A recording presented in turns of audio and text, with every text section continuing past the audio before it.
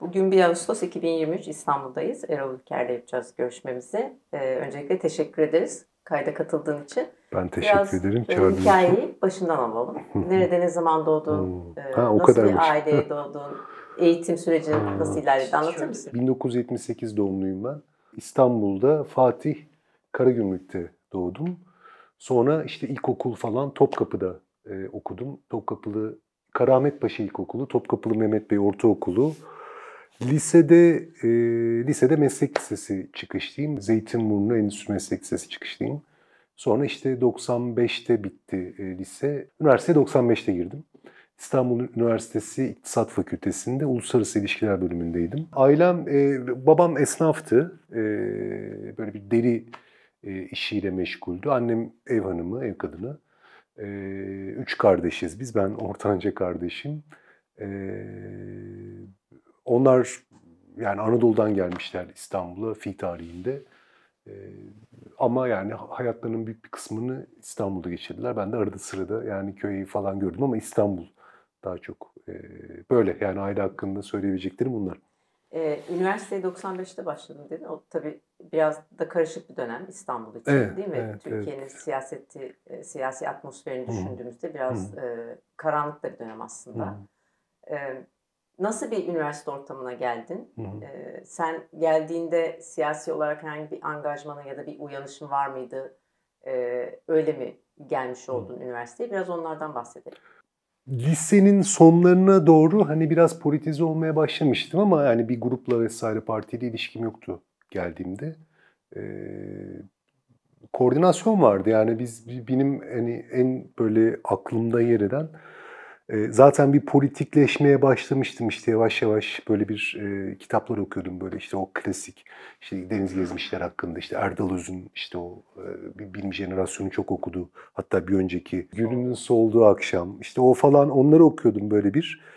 E, geldiğimde yani ilk karşılaştığım şey koordinasyon afişleme yapmıştı. Bütün kampüsü yani olduğu gibi yani girer girmez başlamıştı zaten bir açılış şenliği oldu falan. Yani ilk karşılaştığım şey e, koordinasyonda. O arada birkaç arkadaşla tanıştık. Yani onlarla başladı politikleşme süreci.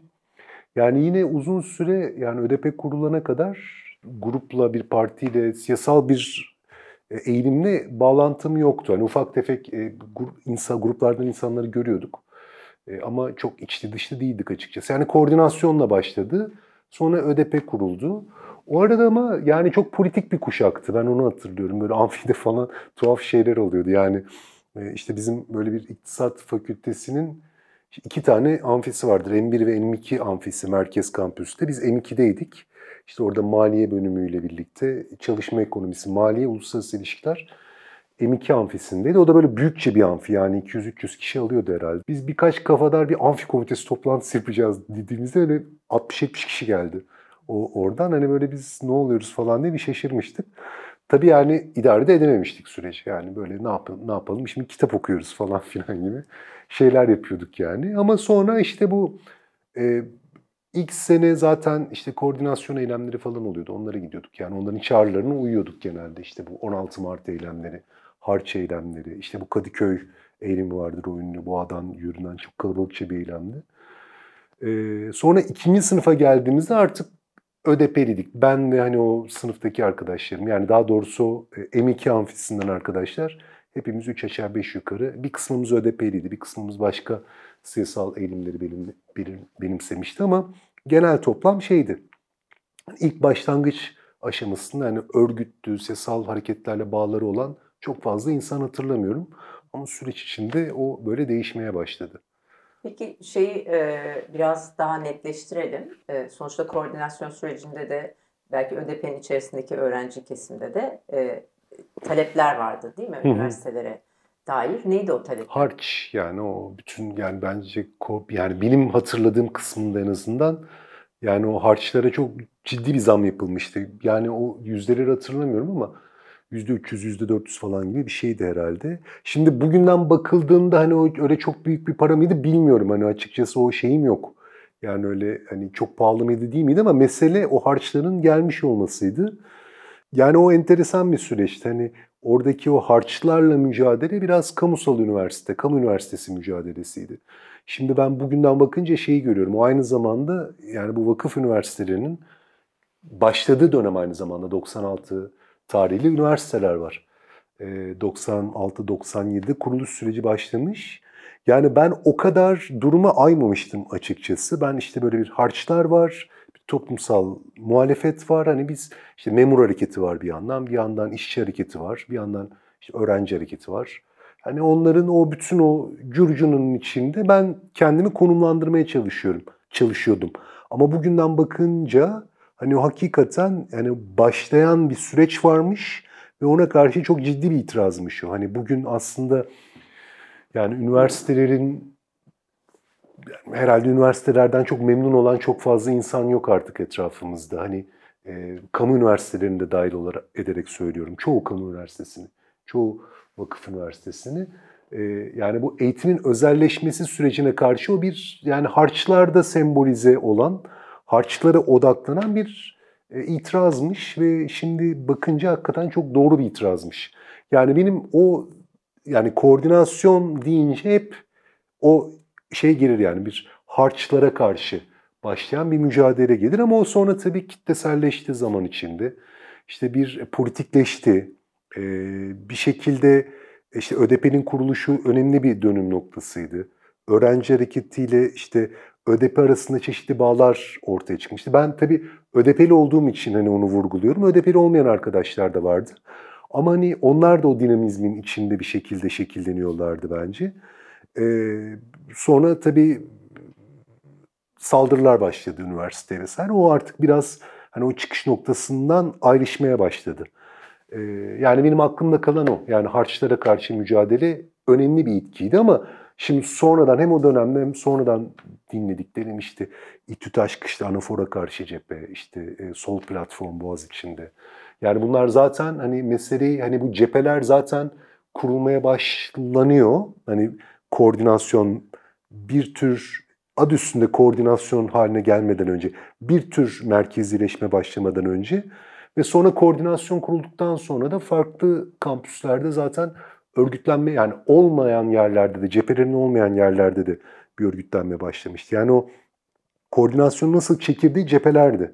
Yani o koordinasyon sonradan bir tür merkezileşme e, sürecine girdi. Onu da böyle mümkün olduğu kadar hani aslında ademi merkeziyetçi bir yapılanması vardı. Yani cephelerin kendi içinde hareket alanları vardı. E, ve o cephelerde kendi oldukları yerlerde farklı mücadeleler ver, veriyorlardı. Yani sadece harç değil yani biz işte iktisat fakültesinde, kimileri siyasal bilgiler fakültesinde o yerelin kendi taleplerini de dile getiren, o yerelin talepleri üzerinden e, öğrencilere ulaşan bir e, hareket anlayışı benimsemişlerdi. Bu bana hani bugünden bakınca çok olumlu geliyor. Yani süreç politikleşirken bile hani o politikleşmenin yanında güncel taleplerin önemi her zaman vurgulanıyordu. İşte e, kadın hareketinin e, ben o zaman yavaş yavaş nasıl olgunlaştığını hatırlıyorum. Daha doğrusu bir elbette ki bir kadın mücadelesi vardı. Ama mesela bu 8 Mart eylemlerini hatırlıyorum. Yani böyle bir kadın arkadaşların böyle bir önünü aldığı bir mücadele süreci vardı. Kendi tartışmaları da vardı o mücadele sürecinin. Kendi anlaşmazlıkları vardı.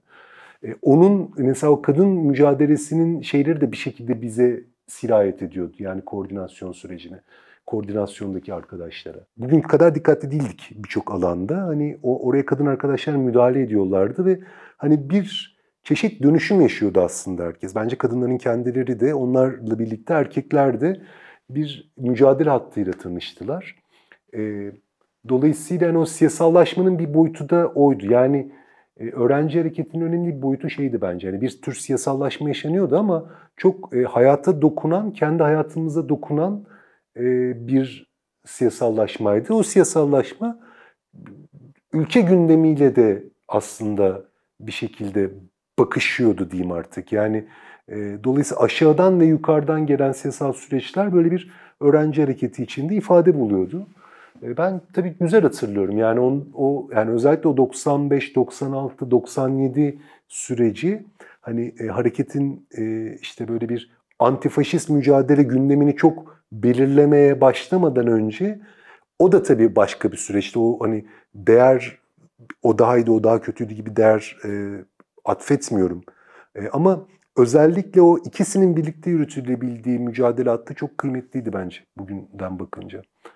Şeyi de söyleyebiliriz herhalde rahatlıkla e, o döneme bakınca ve bu dönemin içinden bakınca öğrencilerin sadece öğrenci hareketi içerisinde e, mobilize olması, üniversitelerde mobilize olması, e, siyasallaşması değil aynı zamanda bir parti çatısı altında olmanın da önemli olduğu bir süreçten bahsediyoruz. Yani öğrenciler bundan da e, geri durmuyorlardı. ÖDP'yi mi? Evet, hem ÖDP hem MHP hem Hı hı. e, diğer- tabii tabii ben dediğim gibi ÖDP'den baktığım diğer için siyasi evet diğer siyasetler. için de söyleyebiliriz bunu değil mi? O çok enteresan bir tartışma. Yani e, ÖDP ile yani ben diğer partileri bilmiyorum. Hani işte emek, emek partili arkadaşları bilirdik. Yani o zaman SİP vardı. SİP'li arkadaşları biliyorduk.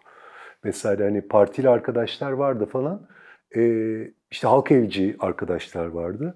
Ama ÖDP'nin süreci yani o parti koordinasyon süreci biraz sancılıydı açıkçası.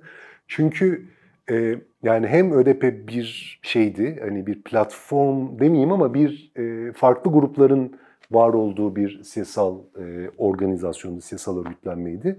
O grupların da öğrenci hareketi hakkında farklı düşünceleri, farklı görüşleri vardı. Yani e, işte öğrenci hareketinde nasıl örgütlenmek gerekir sorusu çokça tartışıldı. Çok hani bunun için kurultaylar düzenlendi.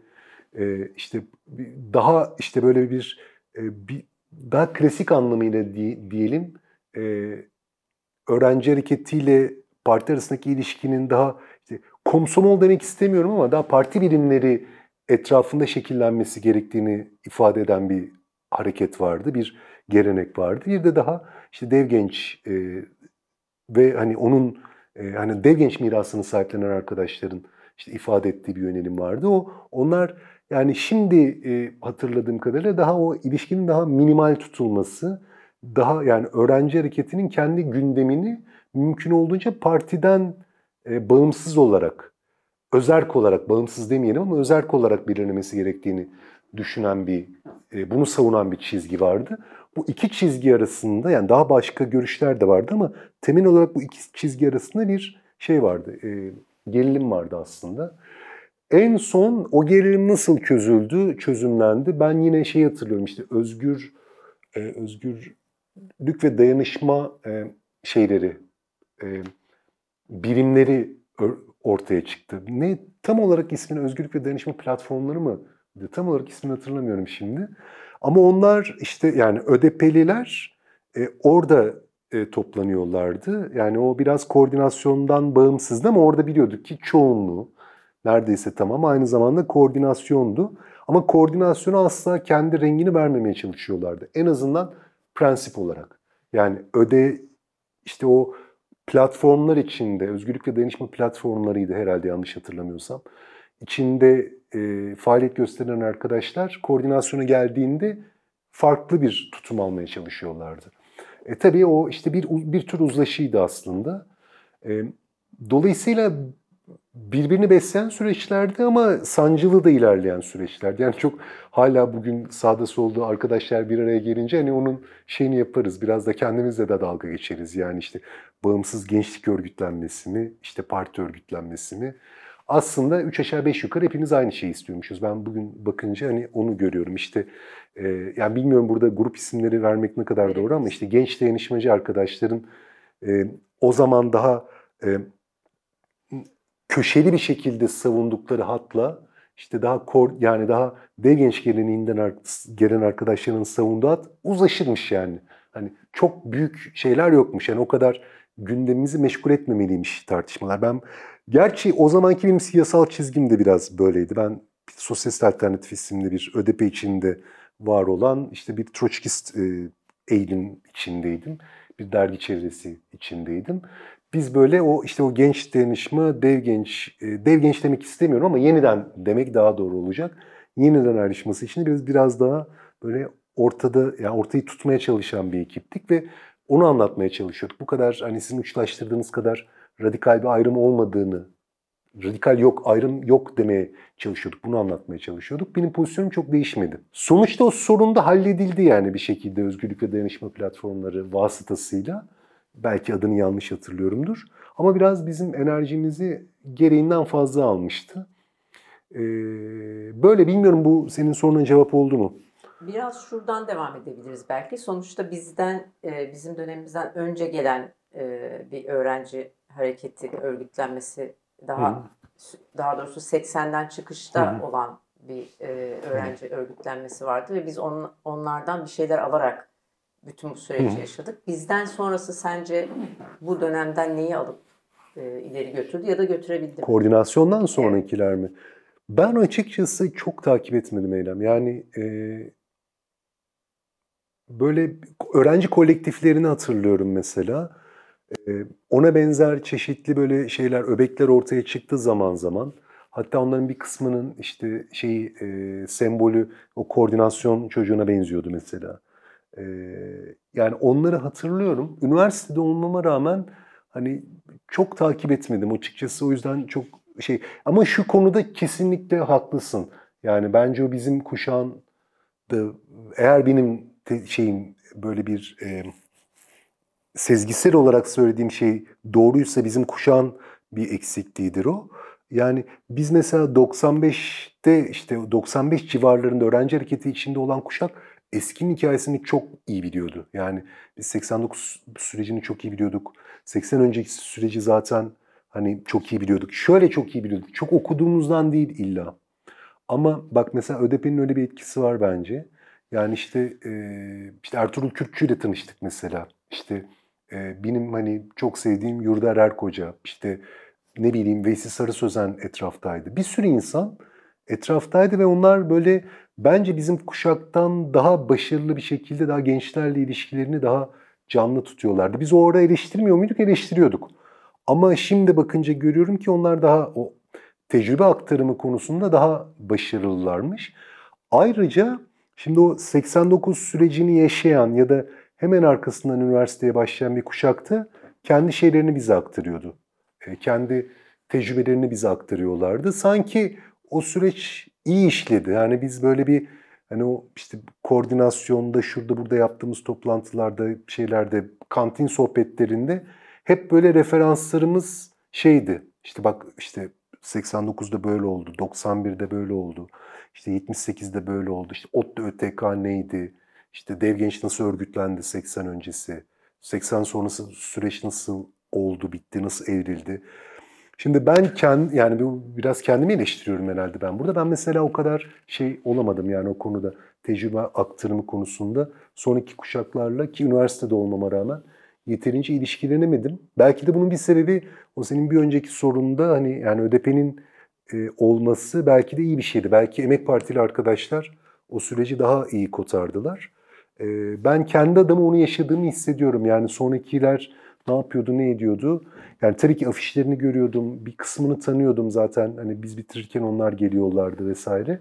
Sonra zaten 2003'ten sonra tamamen kesildi. Yani ondan sonra hani bildiğim kadarıyla hani çok böyle yani gezi sürecini bir kenara bırakarak söylüyorum. Hani merkezileşmeyi öyle ya da böyle başarılı bilen bir e, öğrenci hareketi de hani geldiyse de onun şeyleri biraz sınırlı oldu. Hı hı. Yani biraz onun da etkisi olmuş olabilir. Belki hani oraya bakmak gerekiyordu orada ne olduğunu anlayabilmek için. Hani kişisel bir merakın yoksa belki gözden biraz kaçıyordu. Belki öyle bir durum var. Kurumsal yapılar ortadan kalkınca ya da güçlerinden e, kaybedince herhalde o geçmişin hafızasını ileriye taşıma konusunda da bir aksaklık oluyor. Kesinlikle. Aslında anlattığın örnek ona tekabül ediyor. E, bunu tabii hala devam eden siyasi yapılar için ayrıca değerlendirebiliriz. E, şeyi Evet. sorayım bir de. Yani ÖDP sürecinin de sönümlenmesi ve e, hani şu, bugün geldiğimiz e, nokta içerisinde e, şeyi söyleyebilir miyiz? Yani Türkiye'nin siyasi yapılanmasında şu anda içinde bulunduğumuz durumda e, aslında o günkü öğrenci hareketinin çok önemli noktalara temasının olduğunu ama bizim bunun hafızasını daha ileriye taşıyacak bir takım deneyimleri süzüp ilerletemediğimizi e, düşüncesine katılır mısın? Deneyim aktarımı mı Deneyim diyorsun aktarımı. 90'lardan sonrasına? Ya dediğim gibi yani orada bir problem var. Yani ama işte o kadar aktarılmaya o kadar değer ve deneyim var mı? Mesela bunu da bir şey yapmak lazım. Bence önemliydi.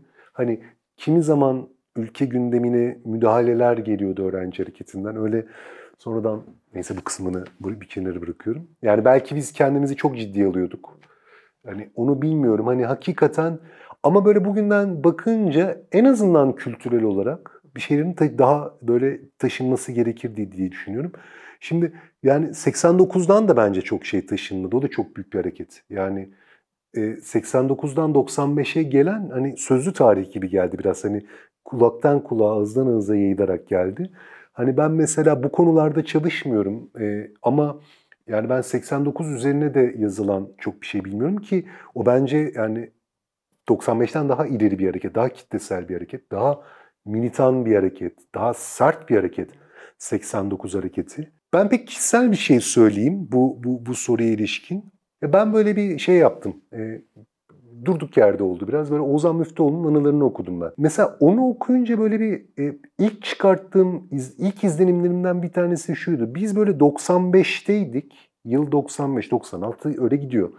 Şimdi oradan bakınca bile 80 öncesi böyle bir 100 yıl önceymiş gibi geliyor. Hani sanki işte hani ÖDP işte o yenidenci arkadaşlar, kurtuluşçu arkadaşlar hani onlar böyle sanki hani bizim hiç temas etmediğimiz bir kültürü, bir siyasal gerçekliği temsil ediyormuş gibi görünüyordu. O aslında ne kadar genç bir hareket olduğunu da hani fark ettim. Yani şimdi biz böyle işte bir yeniden diye bir grup var. Şimdi benim hani o te, geleneği temsil eden o arkadaşlarla tanışmış. Kurtuluş grubu vesaire.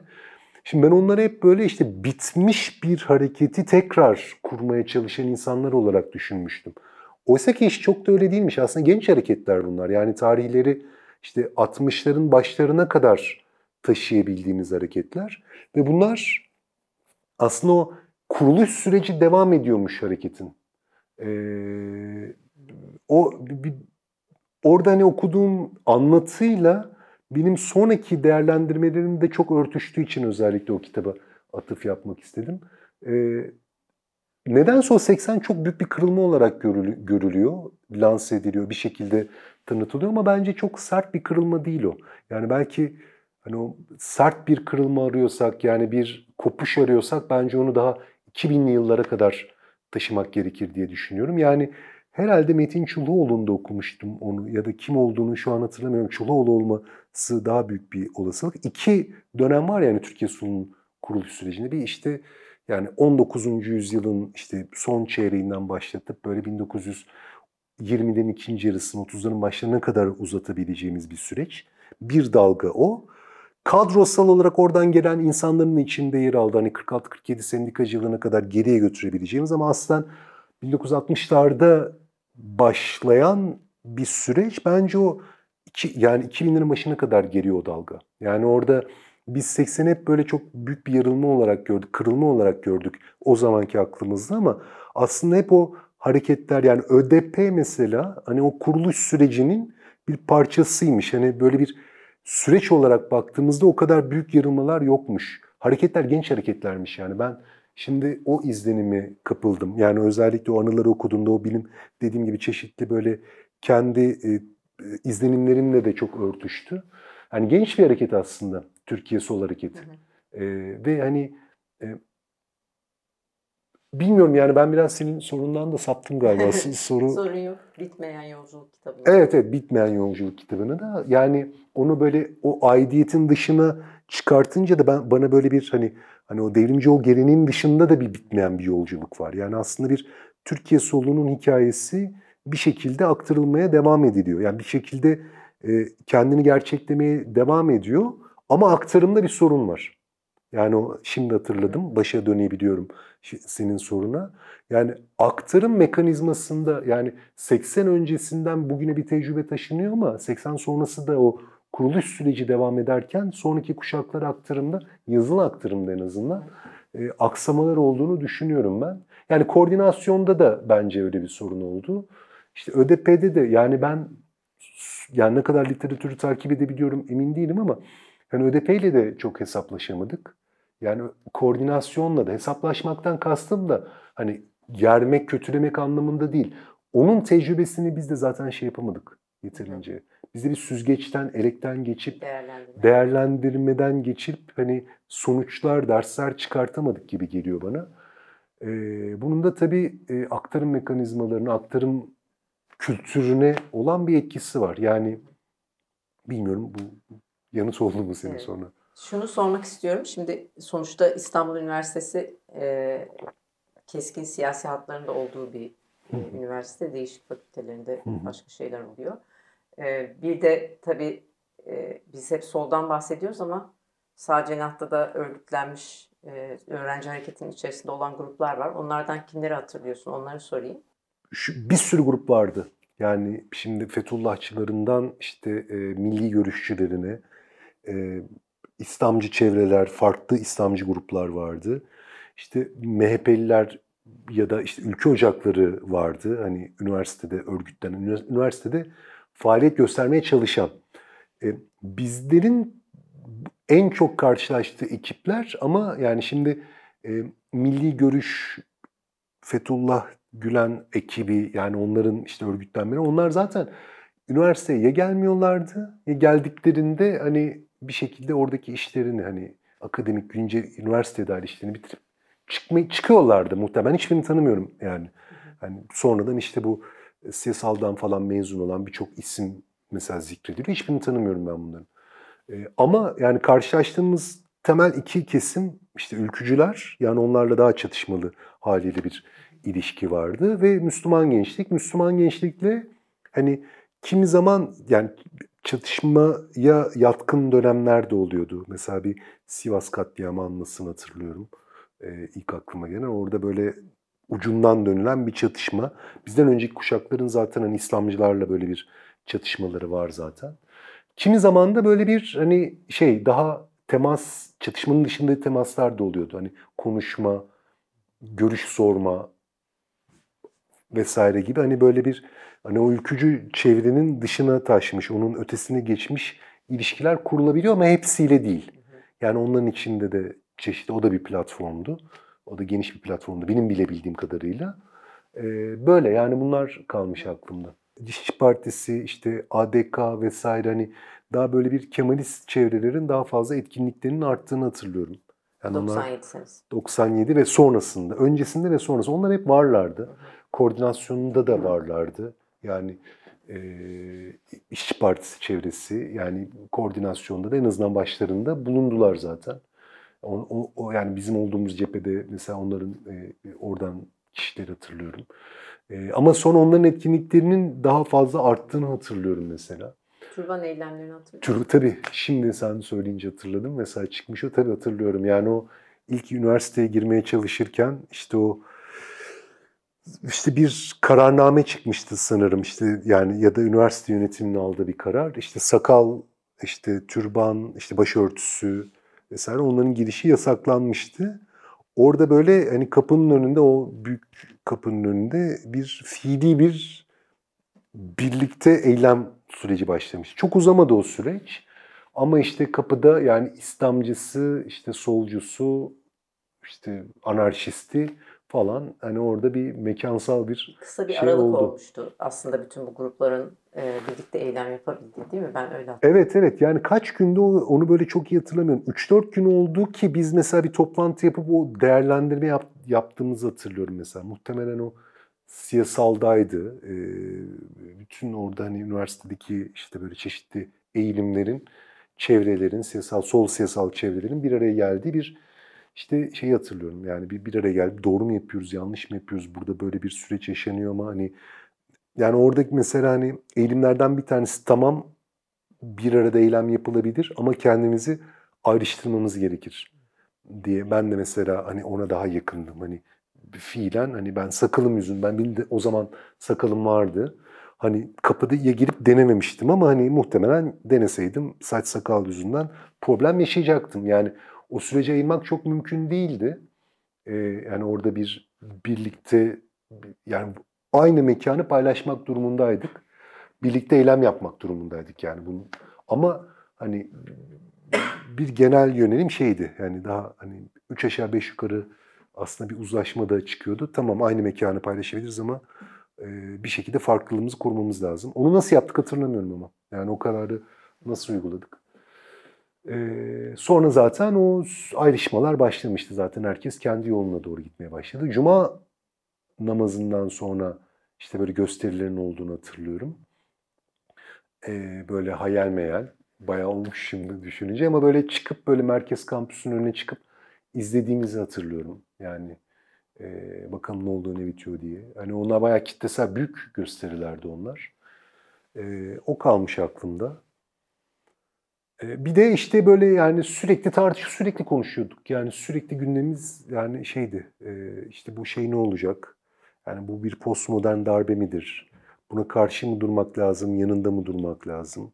Ve herkesin kafasının çok karışık olduğunu hatırlıyorum. Yani 10 kişi olduğunda 10 ayrı ses çıkabiliyordu mesela o tartışmalarda. Ben tabii o zaman yani bayağı genç olduğum için parti merkezinde hani olan biten tartışmaları elimden geldiği kadar takip ediyordum.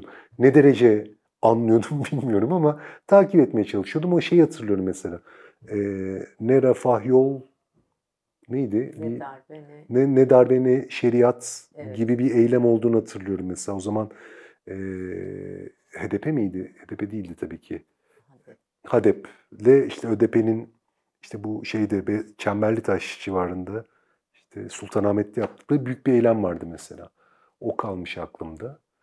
Ee, işte böyle bir hani solun pozisyonunun neo neo olması gerektiğini savunan bir çizgi daha egemendi. İşte ee, onun sonra çok eleştirisi yapıldı. Yani işte darbeye karşı çıkmak lazımdı diyenler de oldu. Bakın o zaman işte yeterince şey yapamadık. İşte bu, bu böyle bir şeyler, sonraki süreçler yaşandı diyenler de oldu. Ben her şeye rağmen o neo neo çizgisinin doğru olduğunu düşünüyorum. Yani nüanslar olabilir. Hani orada kimi dönemlerde ağırlık başka bir yere verilebilirdi ama bence yani ikisinin de yanında duramazdık çünkü. Yani öyle bir öyle bir şey mümkün değildi. Eleştirileri oldu, haklı tarafları da olabilir.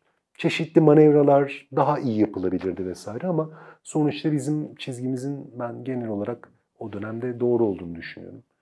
E, bu tabii şeyler başladı ondan sonra. Bir dakika karanlık eylemleri. ÖDP'nin dahili vardı tabii o, o süreçte. Yani ÖDP bir parti olarak değil de ÖDP'li olan ya da ÖDP sempatizanlarının da hani içinde olduğu bir bir ne, ne diyelim bir kadro, bir grup insan o eylemler sürecinin önünü aldı. O da tabii yani o da garip oldu. Yani bir süre sonra o da böyle bir hükümet karşıtı protestoları döndü. Susurluk süreciyle başlayan şey işte 28 Şubat sürecinde biraz rotası hani çıkış noktasından farklıydı süreç ilerledikçe ama yani şeyi hatırlıyorum. Mesela koordinasyon olarak işte İstiklal Caddesi'nde bir eylem yapılmıştı. O 9 eylemi. İşte insanlar kendi mahallelerinde, sokaklarında neredeyse yani onu karışıyorlar. Yani öğrenci hareketine dahil olan insanlar aynı zamanda bir şekilde o eylemlerin de içinde, 9 eylemlerin içinde de yer alıyorlardı. O ışık kapamanı aşmıştı hatırlarsın yani. Evet, evet. İnsanlar Sokağa- bayağı sokaklardaydı Sokağa. yani.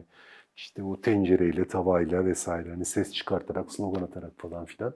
Yani ciddi bir kitle mobilizasyonuydu yani o. İşte öğrenci hareketi, ÖDP, işte herkes karınca kararınca o sürecin içinde oldular.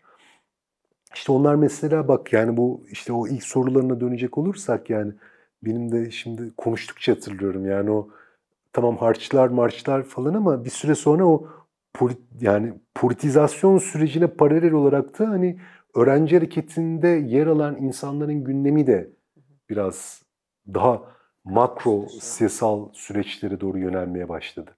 E orada üniversitelerde saldırılar yaşanıyordu, çatışmalar yaşanıyordu. E, çatışma lafını çok sevmiyorum ben yani çünkü orada başka bir süreçti o. İşte o 28 Şubat, Susurluk bunların hepsi işte yani bir araya iç içe geçti. Böyle enteresan bir dönemde hakikaten. Ee, biraz mekanlarımızı konuşalım istersen. Nereleri hatırlıyorsun Hmm. sosyo-kültürel anlamda e, gittiğimiz, gezdiğimiz mekanlar? Tabii ki benim aklıma ilk gelen bulunmaz. E, hatırlarsın bulunmaz. Anzavur pa- pasajıydı değil mi?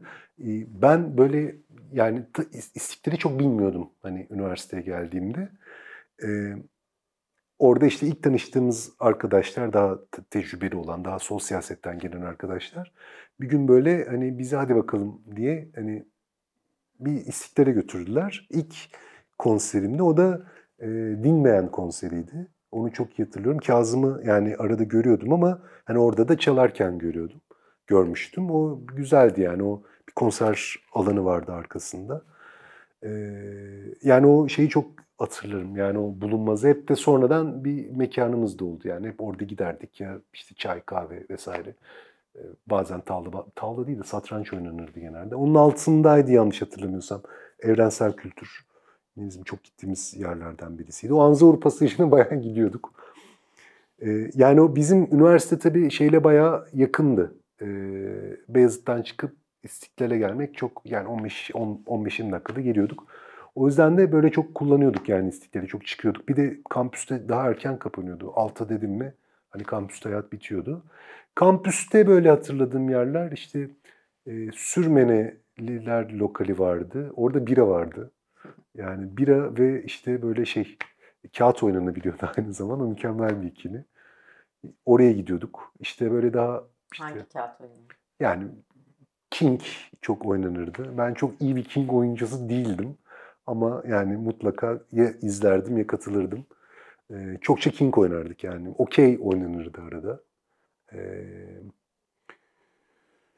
sonra işte böyle Aslı Kafe falan gibi yerler vardı. Bilmiyorum bu kadar ayrıntılı ayrıntıya girelim mi? Her- her yani şey Aslı Kafe'de gittiğimiz yerlerden bir tanesiydi. O böyle 2-3 katlı bir yer kalmış aklımda.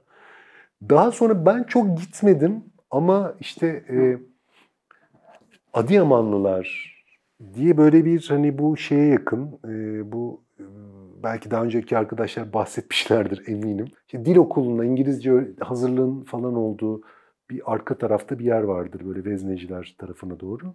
Orada böyle bir kahve vardı. Oraya çok gidilirdi. Oranın e, gideni çok olurdu. Ben de arada sırada gittiğimi hatırlıyorum oraya.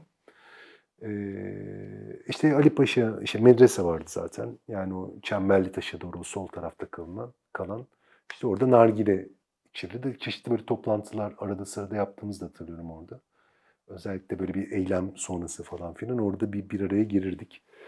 Ee, bir de böyle Çemberli Taş'a, Sultanahmet'e doğru gidip böyle şimdi adını hatırlayamadım. Böyle mekanlarda işte böyle takılırdık. Kadıköy'e girirdik arada. Hasır vardı. İşte okuldan hani böyle okulu kırıp diyeyim artık yani hani okulda yapacak çok bir şey yoksa derslere de girmek istemiyorsak. Özellikle ben birinci sınıfta çok giderdim oraya. Bir, iki. İşte Güğüm, işte Hasır, Kadıköy'ün de böyle kendi şey. O da bize yakın yani bir vapurla geçebiliyorduk.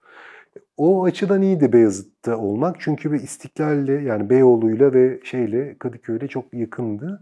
Şey tarafında ben severdim yani. Üniversite etrafındaki işte Çembertaş, Sultanahmet, işte Şafak Sineması. Çembertaş'ta. Yok galiba şimdi. Ee, yani orada güzel filmler olurdu. Hani arada oraya giderdik falan. Daha Beşiktaş'a e, taraf ya da Boğaziçi'ne taraf Hmm. mekanları hatırlıyor musun? Yani Beşiktaş'ı hatırlıyorum çünkü ben Beşiktaş ÖDP üyesiydim. Yani e, bi- bizim o işte çevresinde o sosyalist alternatif çevresinin de çokça üyesinin olduğu bir yerde Beşiktaş. Yani ya ÖDP faaliyetlerine gidiyorduk oraya ya işte şeye gidiyorduk.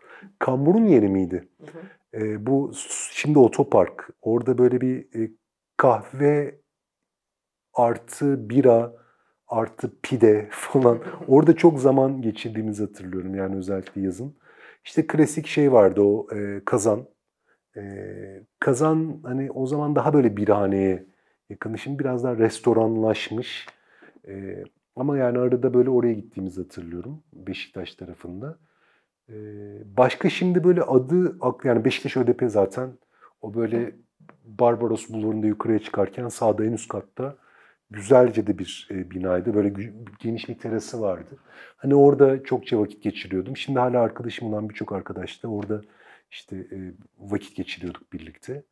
E, yani o parti binasını ben az kullananlardandım. Hani çok yani partiye böyle çok sürekli gidip gelenlerden değildim ama hani haftada bir kere en azından en azından böyle bir birim toplantısını ya da genel üye toplantısına gidiyordum oraya. Yani o önemli bir mekandı benim açımdan. E Kadıköy ÖDP de tabii. Yani Kadıköy ÖDP de çok önemli bir çekim alanıydı aslında.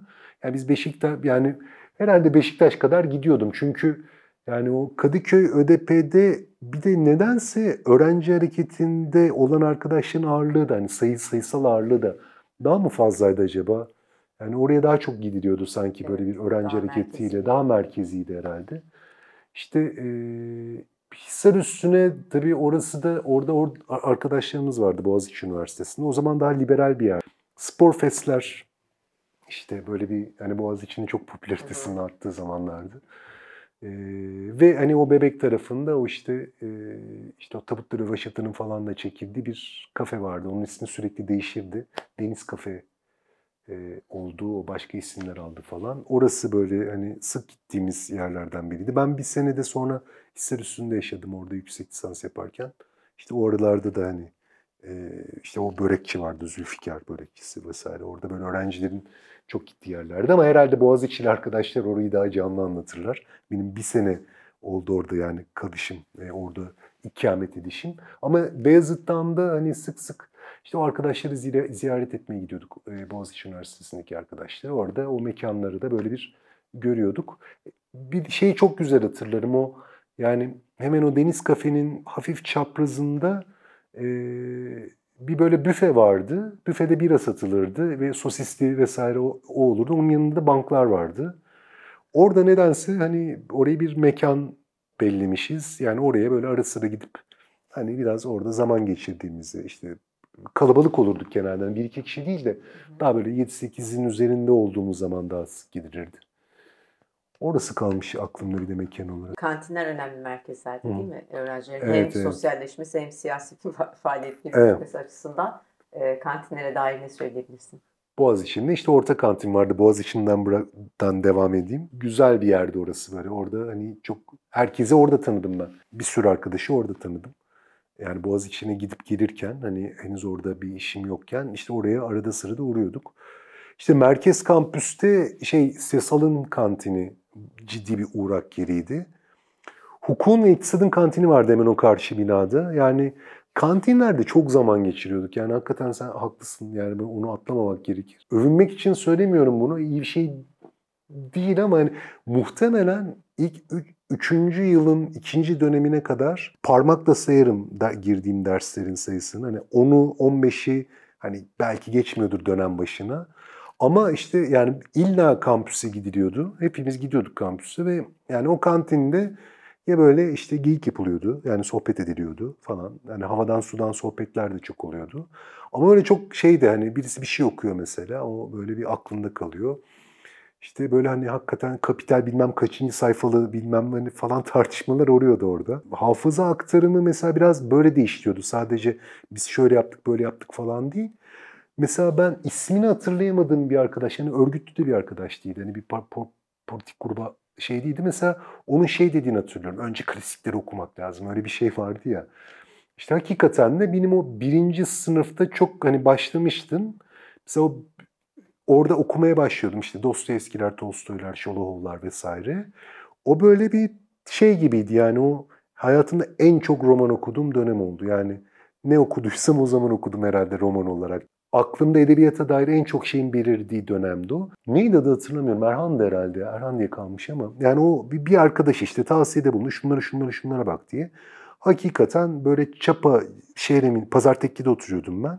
Bir kitap, toplu kitap, taksitli kitap satma diye bir şey vardı. Onu hatırlar mısın? Yani böyle bir e, Çapa'da, Çapa Fakültenin karşısında, Kan Kızılay'ın karşısında böyle alt katta bir mekanı vardı. İsmini hatırlayamıyorum.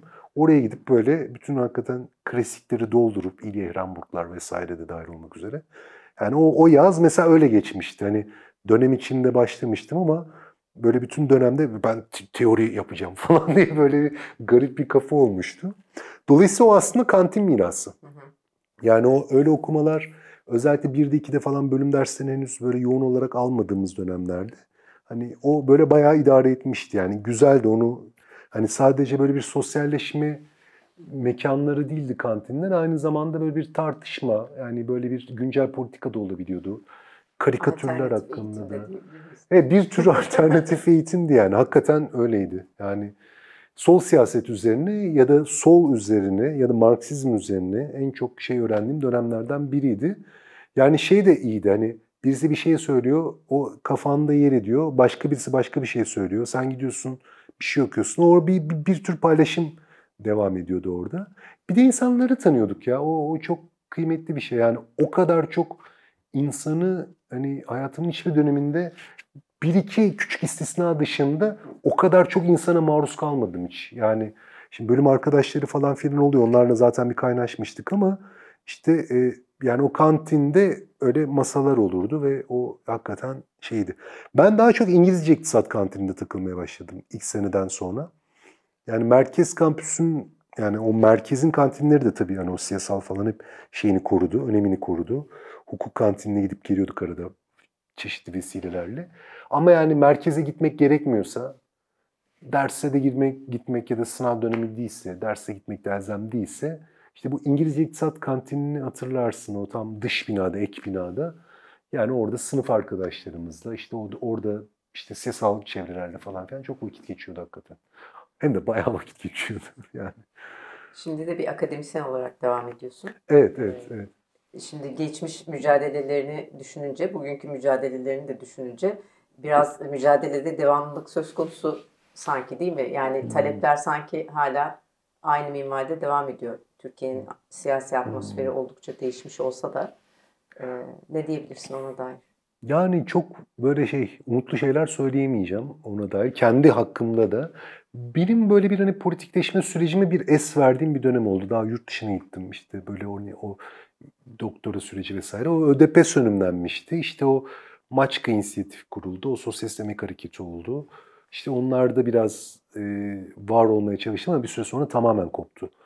Geri döndüğümde zaten yani artık İstanbul'a kesin geri dönüş yaptığımda ki o da hemen gezi sonrası süreç. O böyle bir politik bir heyecanla da sen de hatırlarsın o süreçleri. Politik bir heyecanla da döndüğüm bir süreç ama o gaz gidince ortalık durulunca falan ortadaki manzara bana bir şey yani çoğu zaman bir enkaz gibi geliyordu. Yani yani tabii her yani böyle üniversiteler enteresan yerler hakikaten. Bir yandan işte böyle bir istihdam sağlayan, işte insanların halen entelektüel faaliyet sürdürmeye çalıştığı yerler.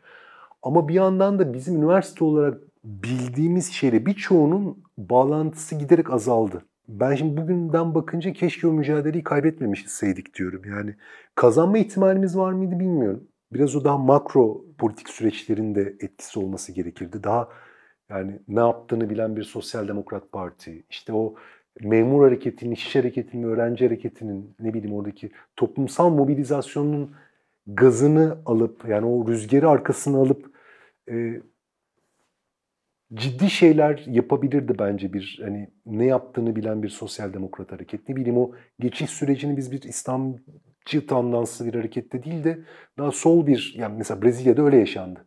Hani daha işte Lula'ydı oradaki o geçiş sürecini. E, PT'ydi. Hani burada niye olmasın? Olabilirdi. Şimdi neyse hani bu siyasal değerlendirme yapma zamanı değil biliyorum ama şu yüzden söylüyorum. O mücadelenin önemini e, işte ben o işte geziden sonra geri döndüğümde ve ortalık sakinleşmeye başladığında karşılaştığım manzarada daha çok kavradım. Hakikaten doğru bir mücadeleymiş o. Yani o hani halimizle biraz da politik süreçlerin de etkisiyle doğru yere görmüşüz, doğru yere yönelmişiz. Yani sadece şey demiyorduk, karşılara hayır demiyorduk. Yani YÖK'e hayır diyorduk, e, özel demokratik üniversite istiyorduk. Yani şu an özel demokratik üniversite talebinin hani ne kadar anlamlı olduğunu herhalde oradan bir grup insan da akademiye yöneldi. Hani hepimiz hani her gün hissediyoruz o taleplerin ne kadar doğru talepleri olduğunu. Ee, yani oradan ne taşıyabildim bilmiyorum. Yani taşımaktan ziyade bir yenilgi gibi geliyor bana. Hani taşıdığım bir şeyin sonuçlarını değil de bir yenilginin sonuçlarını e, görüyorum, hissediyorum. Yaşıyoruz hep beraber e, diye düşünüyorum ben. O yüzden orada bir çok şey öyküsü anlatamayacağım. Yani öyle bir bir anlatı çıkmayacak benden. İşte oradan işte böyle bir orada bir süreklilik yok bende. Daha çok bir kopuş var. Hoş da olmayan yani sonuçları yani üniversite olarak bildiğim şey benim hani içerik değiştirdi. Kimileri bu süreci olumlu da bulabilir. Yani ona ilişkin bir şey söylemiyorum. Ama yani geldiğimiz noktada ben mesela üniversitede bir öğrenci hareketinin yeniden yükselmemesi, üniversiteden demokratik taleplerin yeniden yükselememesinin son dönemlerde yapısal sebepleri olduğunu düşünüyorum. Yani şimdi e, öğrencilere bakıyorum onların e, kaygılarıyla, onların hani hayatın işte ne diyelim şeyleriyle e, sorunlarıyla karşılaşmaları bizden çok daha erken başlıyor. Çünkü hem yekün daha fazla hem üniversite olarak hem öğrenci olarak hem işte şeyin e, alanın genişlemesi, ekonomik alanın genişlemesi vesaire çok şey çok daha büyük. E, ama üniversitelerde çok yenik. E, şey olarak yani, yani en geniş anlamıyla akademik olarak da e, dayanışma kültürü, entelektüel merak yani e, bu, bu dönüşüm, değişim içinde hakikaten hani entelektüel üretim yapmak, e, bilime katkıda bulunabilmek vesaire bunlar hakikaten içerik değiştirdi en azından. Çoğu zaman da pozitif pozitif değil o içerik değişikliği. Bilmiyorum yani başka arkadaşlar ne hissediyordur onu da merak ediyorum şimdi. Umarım hani izleyebileceğiz yani umarım sen de sormuşsundur. Benim hissim şey değil yani bir süreklilik anlatısı yok bende. Daha çok bir yenilgi ve kopuş e, anlatısı var. O sanki hayatın birçok alanında ifade bulan bir şey. Yani birçok alanda geriye dönüş oldu. Birçok alanda demokratik menziler terk edildi. İşte e, ne bileyim yani sendikalaşma çok önemli bir, sendika çok önemli bir mevzi. Biz bunun ne kadar önemli bir mevzi olduğunu olmayınca anlıyoruz. E, gibi yani bu, bu daha çok uzatabilirim bunu ama genel hissiyatım bu yani. Kendi içinde olduğun öğrenci e, hareketlerini, hareketini ve o dönemi üç kelimeyle e, tanımla desem hangi kelimeleri seçersin? Yani özgürlük olabilir hakikaten. Ee, neşe, samimiyet diye isim geliyor bir de ya. Yani ama yani böyle bir biraz düşünülerek bu geldi. Yani özgürlük ve neşe hemen geldi. Yani kendimi daha özgür hissettiğim, yani hayata karşı daha neşeli olduğum bir dönem kendi adıma. İşte samimiyette yani böyle o samimiyet hani biraz arkadaş, eş, dost oradan kalanlara ithafen söylüyorum, atfen söylüyorum herhalde. Yani böyle hani hayatımda şey önemlidir ya belki bu hani o samimiyetle kastı ona takıldım çünkü o sonradan geldi aklıma. Yani bana çok olma, olmadı yani üniversiteden sonra birkaç kez, bir iki kez istisnai durumlarda hani doğruyu yapıyorum yani doğru yerdeyim ve doğru şeyi yapıyorum. Bu bence çok önemli bir hissiyat. Bizi e, bir arada tutan yani böyle mental sağlığımızı da korumamıza çok yardımcı olan bir hissiyat bence. Doğru şey, doğru yerdeyim, doğru şey yapıyorum. Doğru olana katkıda bulunmaya çalışıyorum. Yani kendime samimi olmanın da bir göstergesi bence bütün o hissiyatlar. Onu herhalde hayatımda en net hissettiğim dönem o. Sonra bir iki şey daha oldu.